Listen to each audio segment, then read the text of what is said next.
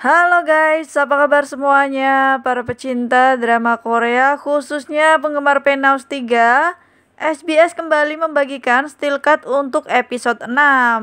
Kali ini ada Sim Suryon dan juga Kang Mari.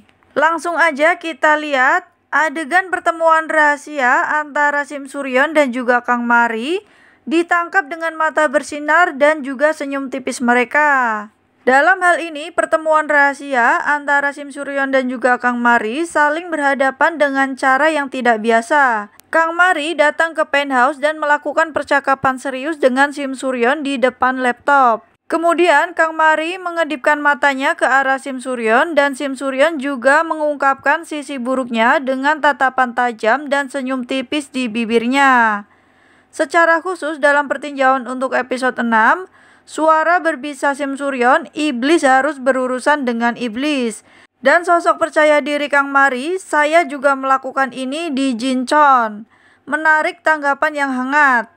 Ini menimbulkan pertanyaan tentang apa yang benar-benar dibenamkan keduanya dengan kepala mereka bersama. Tim produksi juga mengatakan bahwa Sim Suryon dan juga Kang Mari adalah aktor yang memberikan kehadiran yang kuat hanya dengan muncul dan mengisi permainan tanpa celah.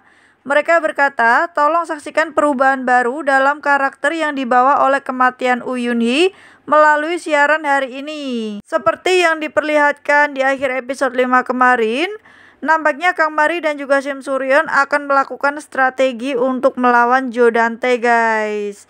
Nah, pastinya seru banget. Keduanya akan berkolaborasi.